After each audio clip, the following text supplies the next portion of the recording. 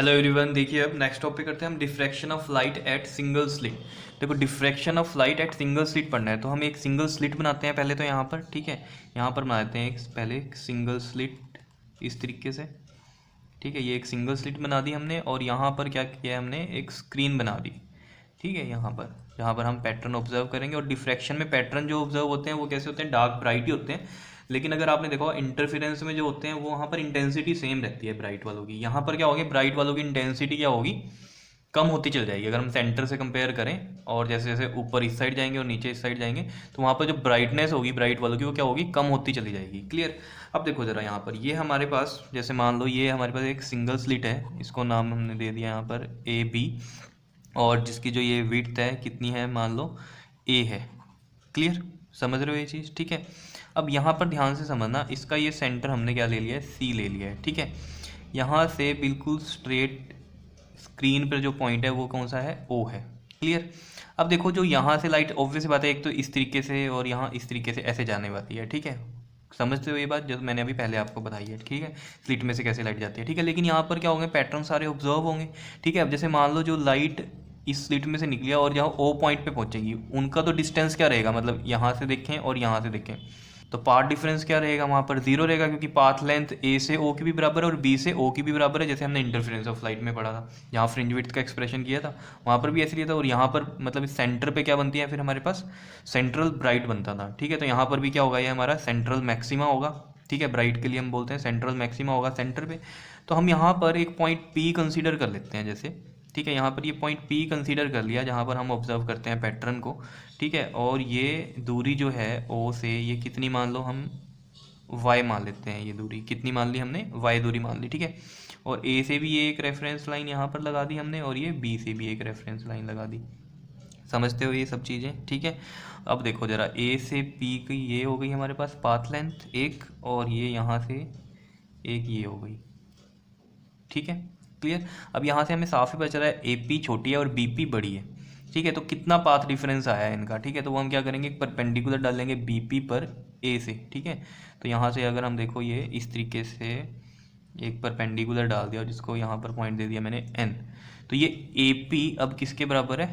N P के। ठीक है तो पाथ डिफरेंस कितना है?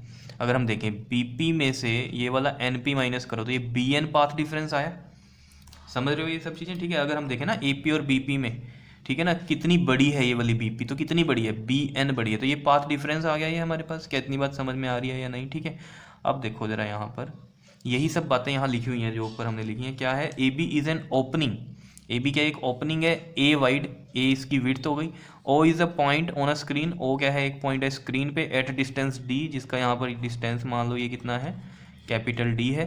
Such that the waves from A and B reach at the same distance यहाँ पर क्या होगा? सेम डिस्टेंस पे रीच करेंगी एंड सेम फ़ेज़ में होंगी। तो O is a central bright तो ये कैसा हो गया हमारा? सेंट्रल ब्राइट सेंट्रल मैक्सिमा बोल सकते हैं इसको। And let P is a point at elevation of angle theta theta elevation पे। ये देखो, ये एंगल है थीटा देखो, ये थीटा कौन सा एंगल है और कहाँ से हमने इसको मानना है? तो ये देखो ज़रा, अगर हम यहाँ सी से एक रेफरेंस लाइन लें, ये वाली, इस तरीके से, ये। ठीक है ना? इन दोनों का हो गया, एक रेफरेंस सी से हो गया हमारा, ठीक है? सेंटर से। तो हम इसमें जो थीटा कंसीडर करेंगे इसके लिए, अगर सी हमने एक रेफरेंस लाइन मान ली तो सी वाली लाइन से हम क्या करेंगे? थीटा कंसीडर करेंगे, ठीक है? तो ये लाइन और सी की ये वाली लाइन ठीक है? तो ये वाला जो एंगल है, आपका ये कितना है? थीटा है। ये सी से जो जा रही है और सी से ये ओ में जो जा रही है। ये वाला एंगल मान लिया हमने थीटा क्योंकि एक रेफरेंस लाइन मान ली ए बी से जो लाइट जा रही है हमारे पास। ठीक है तो वो कितने एंगल पे है? थीटा पे मान लिया हमने। समझ रहे हो इतनी बात? कितने एंगल पे मतलब पी एलिवेटेड है यहाँ पर? थीटा एंगल पे एलिवेटेड है। क्या इतनी बात क्लियर है या नहीं है? ठीक है? अब देखना जरा इसके अंदर। ये जो है ए बी एन ठीक है? ए बी एन यहाँ बना देता हूँ मैं, देखो। ये है ए और ये है बी और ये है आपके पास एन ठीक है? इस तरीके से ये वाला एन पॉइंट है, ठीक? अब देखो ये यहाँ पर कितना है? नाइन्टी डिग्री है ये। कितना है? नाइन्टी डिग्री है, ठीक? अब ये वाला एंगल कितना होगा? यहाँ पर ये छोटा इसलिए मैंने अलग से बनाया। ये एंगल कितना होगा यहाँ पर? बताओ ए बी एन में। थीटा होगा ये। ये थीटा कैसे हुआ? इस चीज़ को समझो, देखो ज़रा ध्यान से। ये सी से ओ लाइन जा रही है और सी से ये पी जा रही है। इनके बीच में एंगल है थीटा ठीक है? अब देखो, ये सी से जो ओ जा रही है लाइन इस पर ये ए बी परपेंडिकुलर है। ध्यान से देखो ए बी परपेंडिकुलर है। ठीक है? और ये जो सी पी जा रही है, ठीक है? इस पर ये आपके पास ए एन परपेंडिकुलर आ रहा है। देखो ध्यान से देखो इसको। बीपी पे परपेंडिकुलर डाला था ना हमने तो ये यानी कि सीपी पे भी परपेंडिकुलर ही आ रहा है। क्या इतनी बात समझ रहे हो या नहीं? मतलब सी ओ लाइन का परपेंडिकुलर ए बी और ये वाली लाइन जो सी पी है, इसका परपेंडिकुलर ही आ रहा है ए एन तो मतलब इन दो लाइनों के बीच में ही थीटा था ना सी पी और सी ओ और इनके दो परपेंडिकुलर ये हैं ए बी और ए एन तो इनके बीच का एंगल भी वही होगा जो इन दो लाइनों के बीच का एंगल है। इतनी बात को समझ रहे हो? ये जो दो लाइनें थी सी पी और सी ओ इनके परपेंडिकुलर हैं आपके पास, ये वाला। सी पी का परपेंडिकुलर ये हो गया ए एन और इस सी ओ पे परपेंडिकुलर हो गया ये ए बी ठीक है तो इन दो लाइनों के बीच में जितना एंगल है, उतना ही इन दो परपेंडिकुलर मतलब इनके ऊपर जो दो परपेंडिकुलर है, इनके बीच में भी एंगल वही होगा। तो ये थीटा हो गया। इतनी बात समझ में आ गई है? ठीक है। अब देखो, यहाँ पर हम यहाँ लिख लेते हैं ये चीज़। पाथ डिफरेंस लिख लेते हैं पहले तो। ठीक है तो पाथ डिफरेंस यहाँ लिखते हैं। Path difference between waves from A and B A and B से पाथ डिफरेंस जो होगा वो कितना होगा देखो ज़रा। पाथ डिफरेंस यहाँ से निकलेगा ये देखो। बीपी बड़ी है, ठीक है? तो बीपी माइनस में एपी आ गया। और अभी अभी हमने बात की थी, ये वाली जो एपी है, ये किसके इक्वल हो गई थी? एनपी के। एपी इक्वल टू हो गई थी एनपी के तो यहाँ लिखेंगे हम देखो बीपी माइनस में ये एनपी जब ये ए एन पर पेंडिकुलर डाला था, इस पे बीपी पे, ठीक है तो ये एपी इक्वल हो गई थी एनपी के तो मैं एपी की जगह एनपी रख सकता हूँ, ठीक है तो बीपी में से एन पी माइनस करो, देखो ये बी पी है, और इसमें से ये एन पी माइनस करेंगे तो ये बी एन बचेगा ना तो पार्ट डिफरेंस कितना आ गया हमारे पास? बी एन है, ठीक है, अब इस बी एन की वैल्यू निकाल लेंगे तो ये बी एन किस वाले इसमें ट्रेंगल में आ रहा था, ये ए बी एन में आ रहा था। ठीक है, समझते हो ना ये सब चीज़ें? तो यहाँ से हम क्या करेंगे, अब बी पी की वैल्यू निकालेंगे देखो। तो यहाँ लिख देंगे हम in triangle in triangle A B N A B N में देखो ज़रा। मुझे क्या चाहिए? ये वाला चाहिए, ये बी एन चाहिए, ठीक है? और ये मुझे पता है ये कितनी है? ए है, ठीक है? तो मतलब ये दो साइड्स हैं हम ठीक है? अब मुझे ये देखना है, ये क्या है और ये क्या है? देखो ये नाइन्टी है और ये थीटा है। थीटा के सामने वाला होता है परपेंडिकुलर क्या होता है ये? परपेंडिकुलर होता है। और नाइन्टी डिग्री के सामने वाली होती है हाइपोट ठीक है? तो मुझे पी और एच का ही रिलेशन कुछ चाहिए। तो वो होता है साइन थीटा में तो हम यहाँ साइन थीटा लगाएँगे, देखो ज़रा। तो साइन थीटा होता है पी बाई एच तो पी क्या है इसमें? बी एन है और एच क्या है? ए देखो, जो हमें निकालनी होती है, वो देखनी होती है साइड और जो चीज़ दी होती है, वो वाली साइड उन दो साइडों के बीच का ही रिलेशन देखना है तो वही लगेगा। साइन लगना है कोस लगना है टेन लगना है, उस तरीके से। समझ रहे हो इतनी बात? तो यहाँ पर हमें पता था कि हाइपोटनिस दी हुई है और परपेंडिकुलर निकालना है। तो पी और एच का रिलेशन किसमें आता है? साइन थीटा में आता है। ठीक है? या फिर आप इसको कोसिकेंड में भी ले सकते हैं। कोसिकेंड भी है आपको एच बाई पी होता है। इसका उल्टा ही होता है। ठीक है? तो यहाँ हम साइन थीटा से ले लेंगे इसको। क्लियर है इतनी बार ठीक है? तो यहाँ साइन थीटा से आपको बुक्स में भी साइन थीटा से ही मिलेगा। तो साइन थीटा आप ले सकते हो। ये वैसी मैथमेटिक्स की बात थी कि कैसे हम इसको सोच सकते हैं। ठीक? तो यहाँ से हम ये पार्ट डिफरेंस निकाल सकते हैं।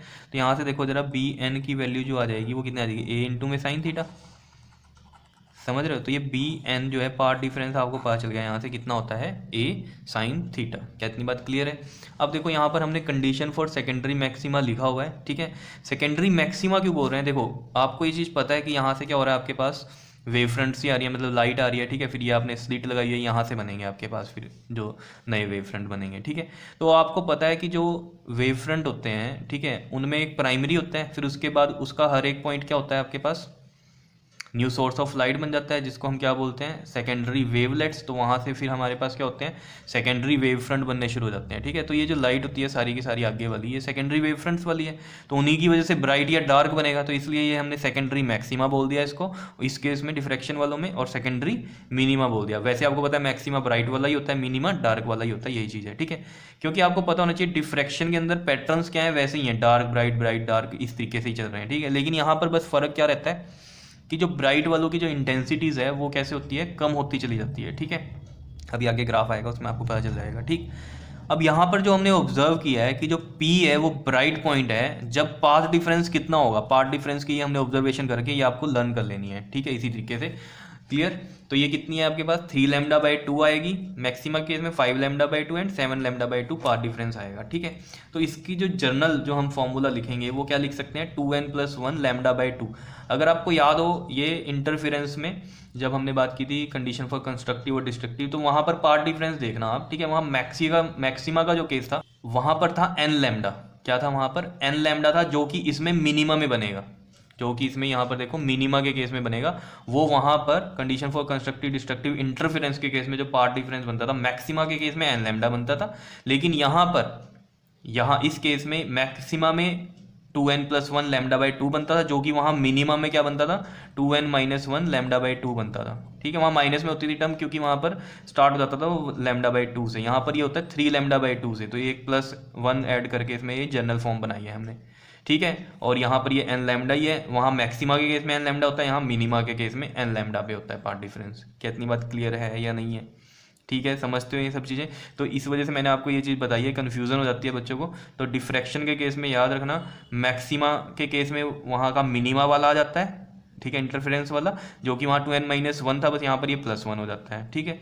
और सेकेंडरी मिनिमा के केस में डिफ्रैक्शन में जो इंटरफेरेंस में आपके पास मैक्सिमा में आया था पार्ट डिफरेंस एन लेमडा वो यहाँ मिनिमा में बनता है। क्या इतनी बात क्लियर उल्टा है। मैक्सिमा वाला यहाँ मिनिमा में है और वहाँ का जो मिनिमा था, वो यहाँ मैक्सिमा में है। बस यहाँ पर प्लस आ जाता है यहाँ। वहाँ, क्योंकि अगर आपको याद हो, वहाँ का जो मिनिमा था, उसमें two N minus one lambda by two आता था। ठीक है? क्लियर है? यहाँ पर बस मैक्सिमा में वही ले लेंगे, लेकिन प्लस लगा देंगे यहाँ पर। ठीक है? उसकी भी कारण क्या है? कि यहाँ थ्री लेमडा बाई टू से स्टार्ट होता है five lambda by two seven lambda by two and so on ये चलता रहेगा, ठीक है? तो पार्ट डिफरेंस था हमारे पास B N A sine theta तो एन एथ टर्म के लिए अगर हम देखें, किसी के लिए भी निकाल सकते हैं, ठीक है ना? जैसे हम वहाँ पर निकालते थे फ़र्स्ट ब्राइट सेकेंड ब्राइट इस तरीके से यहाँ पर भी होगा, ठीक है ना? तो वन टू थ्री फोर इस तरीके से वैल्यू पुट करेंगे और ये हम निकाल सकते हैं three lambda by two five lambda by two and seven lambda by two and so on ठीक है? तो ये जनरल फॉर्म आपको याद रखनी है path difference is equal to में दिस ठीक है? बात इतनी क्लियर है? कर सकते हो इस तरीके से, ठीक है? और यहाँ पर भी यही चीज़ होगी। देख लो यहाँ पर भी। ये आपका कंडीशन फॉर सेकेंडरी मिनिमा या डार्क का केस है हमारे पास। सेकेंडरी मिनिमा बोलते हैं हम डार्क को, जो कि वहाँ मिनिमा बोलते थे नॉर्मली ठीक है इंटरफेरेंस में। तो यहाँ पर जो पी अगर हम डार्क पॉइंट कंसीडर करेंगे तो पार्ट डिफरेंस कितना होना चाहिए उसका? Lambda two lambda three lambda होना चाहिए। एंड सोन यानी कि इसकी जनरल फॉर्म हो गई एन लेमडा तो A sine theta N is equal to में क्या लिख सकते हैं हम? एन लेमडा और इसमें याद रखना, इनमें एन जो है one two three one two three start होता है।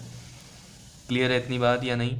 ठीक है तो ये चीज़ें आपको ध्यान में रखनी है, क्योंकि अगर आपको याद हो वहाँ एन लेमडा वाला केस था तो वहाँ से ज़ीरो से स्टार्ट होता था, लेकिन यहाँ ज़ीरो से नहीं स्टार्ट होगा, यहाँ एन लेमडा वाला भी वन टू थ्री से ही स्टार्ट होगा। तो बार बार मैं आपको बता रहा हूँ, जो कन्फ्यूज़न होती है बच्चों को, क्योंकि बिल्कुल उल्टा केस है जो आपके इंटरफेरेंस में था। इंटरफेरेंस में जो आपके पास मिनिमा का केस था, वो यहाँ मैक्सिमा का बन जाता है, और जो वहाँ मैक्सिमा का केस था, वो यहाँ मिनिमा का बन जाता है, क्योंकि वहाँ मैक्सिमा में एन लेमडा था, यहाँ मिनिमा में एन लेमडा आता है। वहाँ मिनिमा में two N minus one lambda by two था, यहाँ मैक्सिमम में ये चीज़ आ जाती है, लेकिन बस प्लस वन हो जाता है यहाँ पर। ठीक है, याद रहेगा। तो इस तरीके से आपको ये करना है diffraction of light at single slit क्या इतनी बात क्लियर है या नहीं है? ठीक है, अब नेक्स्ट वीडियो में हम इसका ग्राफ देखते हैं। Clear okay ji thank you